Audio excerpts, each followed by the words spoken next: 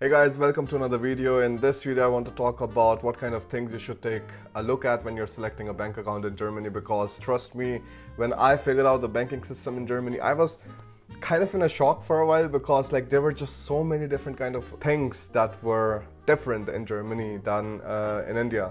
And the first major thing that I will just like throw it out there is like you have to actually pay the bank for keeping your money inside the bank account, which is completely different in the positive interest countries where you're actually getting interest on the money. So this is actually still a bit different in Europe. So for example, if you're keeping your money in your bank account in Estonia, you're getting the money on top. If you're putting the same in Romania, you're also getting that. But these are again countries which are like not yet like on the same like standard European level like for example Germany, France or Netherlands and so on. There were quite a few differences. I'm going to like kind of put everything here on the whiteboard and this is going to be well the starting of maybe the whiteboard videos just really like love writing things here. Just keeps like everything super organized. So uh, hopefully you will like that too. Let's go. Discuss in the comments if you would like to have more whiteboard videos or just like the other normal ones. So let's go. Let's take a look at the whiteboard and let's start going through the different points. First of all what are the things that you have to take a look at when you're selecting a bank account in Germany? And then what kind of choices you have? Because as a student you still have quite a lot of choices but as soon as you're like working full-time then it becomes a lot different. So like in this one, I'm going to like discuss both of the scenarios when you're actually just a student and are trying to figure out what kind of bank account you want to use, or if you're a full-time working professional and then what kind of choices you have with you. All right, let's go to the whiteboard. Perfect. So this is the selecting bank account in Germany. The differences, right? The, the first difference that I want to like really kind of um, focus on is going to be the Kontoführungsgebühren because, oh man, I think this was the thing that I like found the worst in the German system because like why do you have to like kind of pay the bank money every single month so that they're like managing your things because this is like really not the system in India. And yes, it has to do with the negative interest rates in Germany, which is also like even more horrible. So in India, if you're keeping the money in the bank account, you're getting an interest rate on top. You're getting money added to whatever amount you're already having in the bank account. But in Germany, that happens rarely. Now, so like that is again the second point. But the first point is like most of the times you have to pay four to eight euros, sometimes even 13 euros. So like for my business account, I was paying 13 euros with Volksbank, which was insane every single month. And I was like, you know, this is way too much. And this is like really nonsense because every single time, whenever I have to get something done,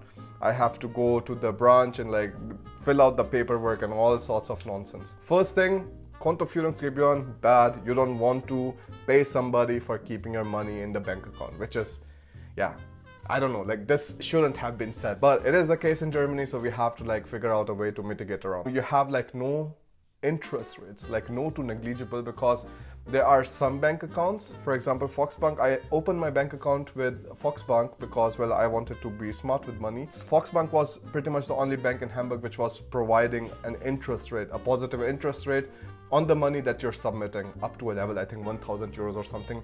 And for students, of course, for us, like it's already too much money. Like 1000 euros is fine, it's not bad. So I thought, all right, you know, like any kind of like interest rate, it's not bad. Let me just put the money there. So that's what I did. But for most of the other bank accounts, for example, Sparkasse and others, like there's generally no interest rate. Now, another super important thing, something that I've also mentioned here, that these Kontoführungsgebühren, uh, the money that you're paying monthly to the bank account and the interest rate that the bank is giving you on the money that you're already having deposited in the bank account is different. So the policies of, for example, Volksbank in Hamburg is not going to dictate the policies of Volksbank, let's say in Chemnitz. It just doesn't work that way. So every single region even have their own rules, own pricing and that's why it is not very easy to say that, hey, all right, just go with Commerzbank, go with Volksbank, go with Sparkasse, or go with Deutsche Bank and so on. Like it generally isn't that simple. So it is super important that you take a look at what kind of banks are available in your region and then decide from one of those depending on if you're getting a positive interest rate or if you're actually not paying any kind of money on your student accounts because these two things are super important, right? So we have that out of the way. So afterwards, we are going to then take a look at the next point, which is like generally with these bank accounts, you're not like receiving any kind of Visa or MasterCard.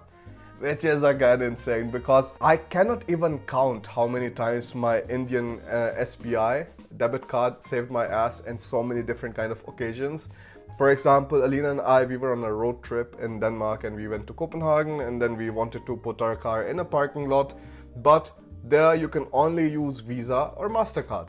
And the problem with the German bank accounts is they have some kind of VPay well, VPay, yeah, I mean, but nobody else accepts it outside Germany. So that generally is a bad thing when they're having their own kind of, uh, you know, um, not Visa or Mastercard, but like some some other kind of like VPay stuff uh, for their for the bank cards which can generally only be used with the ATMs in Germany. So that is a bad thing and this is the reason like I marked here that Visa or MasterCard is super important because if you are going anywhere abroad or even if you're doing any kind of online purchases within Germany like either you have your PayPal, yeah that's nice, you can use sometimes SEPA uh, Lastschrift if it is available with that kind of merchant but most of the times you do need a Visa or MasterCard and it is like rather important to acquire one if you don't have from india i mean i would still say like get one in germany because it's just a nice addition you don't want to be paying these extra kind of forex charges every single time you're doing some kind of payment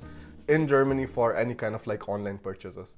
So this is something which also sucks for like most of the bank accounts in Germany that you are given some kind of VPay card and not like your Visa or MasterCard. So Dispo Credit is a feature when even if your bank account is having zero euros, the bank can essentially give you a loan on a monthly basis, but that loan is generally also expensive. Like you have to pay up to like 7% of the amount that is taken out after your bank has already reached the zero level. So this is an interesting thing if you really need the money, something that you can also like kind of get disabled if you don't want to use the dispo credit. What happens in that case is that, for example, a company tries to cut the money from your bank account for some kind of service or product that you bought, but then if the SEPA thing or like if the money uh, transfer did not work on their end, that they are not able to take the money out from your bank account, then they will charge some extra kind of fees. So like 10 euros, 20 euros, something like that, which is like not such a nice thing. So this is sometimes like kind of uh, makes sense that you have dispo credit of up to like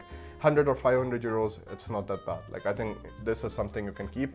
But again, depends. Depends on your situation. If you are going under zero way too many times, then there's something seriously that you have to figure out with your finances. And we will talk about those things in the next videos too. But see according to your own situation if you would like to have the dispo credit or not, right? So dispo credit essentially something that the bank loans out to you even when you have zero euros in your bank account. Then the fifth thing is that generally the online banking that I've seen with the traditional bank accounts is a lot lot weaker in Germany. So this is not fun at all. Um, even I would say like the online banking of SBI sometimes is better than what we have seen with Volksbank. So Alina and I, we were both with Volksbank and whatever kind of experiences with we have had, like essentially were with Volksbank. We were also previously with Postbank and well, that started charging fees monthly. So like we went away from there and then we started with Volksbank because it was free for the time being. Well, and then afterwards it was also charging fees. And this is the reason we then took the final step, which I'm going to like now discuss afterwards. But the online banking with Volksbank, it's absolutely horrible. Um, you can't even sometimes transfer the amount uh, to some other bank account just online. And you need to have this different kind of like chip. This is called smartTAN and you have to like put your card inside and then scan the barcode and all sorts of nonsense. And they just cannot make a decent app. Like all of these fintech companies, all of these banks which are like opening up new, they have a really strong app. They have like verification methods. They have two factor authentication and all of these things which are like really nice. You don't need to have a separate thing to carry around and every single time scan some kind of barcode or like scan some kind of you know uh, qr code and things like that. This is something i find really horrible. So the online banking generally that you find with the traditional bank accounts is worse. Like i would say deutsche bank is still like better commerzbank is also like decent there Sparkasse Volksbank, they are still like not at the level of, for example, N26 or Monese um, in that way, or even Comdirect. Huh? So that is the story. So these were some few important points that you have to absolutely remember when you're like choosing a bank account in Germany. Because it is possible that you come from some other country and then all of a sudden you're in Germany, you're trying to figure out some kind of bank account, but then you realize that, hey, they're not giving a Visa card. And then sometimes you have to use a Visa or MasterCard at times when you just don't expect it at all. For us, the horrible thing was that we parked the car inside the parking house. No? And it did not ask for the Visa or MasterCard there, but when we were actually going out and then we had to like pay for the time uh, that we had a car standing in the parking lot and was asking for a Visa card. And, and and at that point, if I didn't have my SBI, this global Visa debit card, and did not have the international transactions enabled, I have no idea what we would have done. So just things that you should like really remember when you're like, you know, figuring out what kind of bank account you would like to um, have here. Then you have a few choices as a student or even like as an employee. You can go with Volksbank, Commerzbank, Sparkasse, Deutsche Bank and DKB. Like these are the very standard bank accounts that you have. Like some of them I'm also going to link in the description so that you can take a look or also you can fill out the applications online if you would like like shift from your uh, current bank account to some other bank account. Then the newer banks, which I actually like really love, uh, and especially because they have a really strong app. It just looks beautiful. You have all of your stats in one single place. Whenever you're doing any kind of transaction, you will get immediate notification on your phone. So in case like your card gets stolen or something, like you will know if yeah, that person is using the card somewhere else. But it is definitely not bad to have like all of the list of expenses and incomes that you're having uh, in one single place. And it also shows you in a very nice statistical way how much money you spend for what kind of uh, category this month. So N26 is absolutely beautiful in that way. It's also like one of the oldest like digital banks, one of the most established digital banks which is out there. Then you have Monese, you have Comdirect. Comdirect is like um, like a not a partner but like a daughter company of Commerzbank. So this is also an interesting one if you're into like investing because Comdirect generally like doesn't have so much drama when you're like trying to invest in stocks or ETFs and um, index funds and so on. That is the important thing. Um, DKB also allows you to do that. With Sparkasse, the it's a lot lot pricier. So like I wouldn't suggest Sparkasse if you also want to like invest in stocks or ETFs or index funds and so on. But um, N26 works well because with N26 you can easily have your Trade Republic account and then you can transfer the money there. And at Trade Republic you don't have any kind of you know uh, monthly cost when you're trying to do the trading with stocks and ETFs and so on. Previously we were using Volksbank. As long as you're a student, like of course it's nice that you don't have to pay anything. But as soon as I ended my studies, it started charging me like 13 euros per month, which was insane. Alina was paying around 8 euros a month, which is also like not acceptable at all if you're paying like almost 21 euros every single month. This is the reason we shifted to N26. I have my business account, so like that costs like 10 euros per month, but it is still a lot, lot better than Volksbank because I can use the master debit card anywhere and it doesn't have any kind of forex fee. That means um, here right now we are in Denmark and we have to do a lot of stuff to like bring Alina's BNB project into shape. So for those of you who don't know Alina, my wife, she bought this house and she has always had the dream of like having her own BNB. So like that's why we are in, in Denmark right now and trying to like fix the house. So whenever we are doing any kind of transaction, whenever I'm doing any kind of transactions with my N26 bank account, debit card, I'm not paying anything at all in forex charges, which is like really nice. You see directly how much the exchange rate is going to be when I'm transferring money to some kind of, for example, business who did some kind of repairs in the house. So there I can also already see how much extra money I'm going to pay and Volksbank was horrible in that way. Like I was paying almost like 5 to 6% of the entire amount on top which is insane. But for example, N26 uses TransferWise, which is built in the app. You're just like paying very, very less money compared to what you're paying with the traditional bank accounts. So for the paid plans with N26, of course, you also have a lot of nice benefits, but as a student or, or somebody who just doesn't want to pay the Kontoführungsgebühr, you also have the free plan, which is also very strong.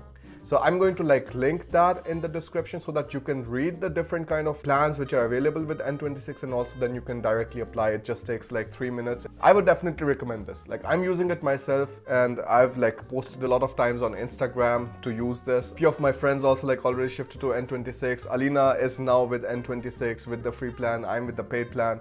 So like we are using it in the way that uh, any kind of paid things or like the paid incentives we need we get the money transferred to my account and then you know we are using it. So that essentially the cost of having one paid plan is divided by two. This means like it's essentially that alina and i we are like sharing 5 euros and 5 euros per month costs together. So economies of scale like you know always um, yeah it's always nice to see that working So N26 is something I can recommend definitely even as a student if you're coming to Germany you just need your passport and the residence permit has to be in a card and like not as a visa stamped on your passport so they don't accept that but like just give it a try see if you like some other one. Monese is also a good bank account but i don't like the forex charges uh, and stuff there. So the plan that i found personally the best for me was the n26 but it could really differ depending on what kind of city you're living in what kind of state you're living in. Maybe you have a really nice volksbank offer there. Maybe you have a really nice sparkasse offer there so just like really inquire and keep in mind these five points. Like super important that you're not paying any kind of like additional monthly fee to the bank account, that you're at least getting some kind of like interest on the money that you're already putting inside. And then if you have some kind of like, you know, Visa or MasterCard available with that bank account, that is also like super important. I'm going to make a few more videos about the finances because I know it is super important and like people generally like discuss it way too less and especially for the international community in Germany. So yeah, I mean, there are a lot of videos that you will find in German, but of course, like you need to know German. I can watch them and like, you know, gain the knowledge from them. But for those of you who don't know German yet, because I'm never going to stop preaching this. You have to learn German if you want to integrate better in Germany, if you want to like really have a good and successful career here. So until you don't know that, um, we can discuss these things here. No? Alright then guys, thanks a lot for watching the video. It got a bit too long, but hopefully it was uh, worth it for you guys.